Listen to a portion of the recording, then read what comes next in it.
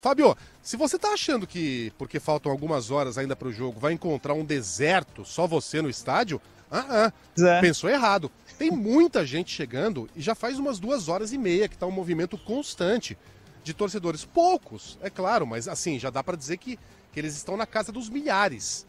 Então já, já vai ter gente na arquibancada faltando bastante tempo ainda para o jogo das quatro da tarde, horário brasileiro, Fábio.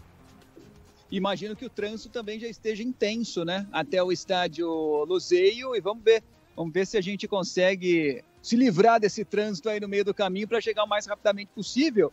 E eu fiquei de olho, Megali, no primeiro jogo da, do Grupo do Brasil, né? Camarões e Suíça. Primeiro tempo realmente horroroso, os dois times não jogaram absolutamente nada, mas no segundo tempo a Suíça apresentou sim um grande futebol. Ficou só no 1 a 0, mas porque jogou apenas um tempo amassou Camarões no segundo tempo, fez o que quis, poderia ter feito um segundo gol, então demonstrou ali um potencial grande, sobretudo na segunda etapa, ou melhor, somente na segunda etapa, mostrou ali um, um, potencial grande de crescimento, inclusive para as próximas partidas da Copa do Mundo. E o Brasil, obviamente, tem de estar de olho, o torcedor brasileiro também tem de estar de olho, porque a Suíça será a segunda adversária da seleção brasileira na Copa do Mundo do Catar. 1 a 0 para cima de Camarões, poderia ter sido mais, e o gol foi numa belíssima jogada ensaiada pelo time da Suíça. Inclusive, eu estava assistindo justamente nesse momento, estava assistindo ao jogo ao lado do Marcelo Duó, que acompanhou o treinamento da Suíça. Ele me cutucou e disse: Ó, essa jogada eles treinaram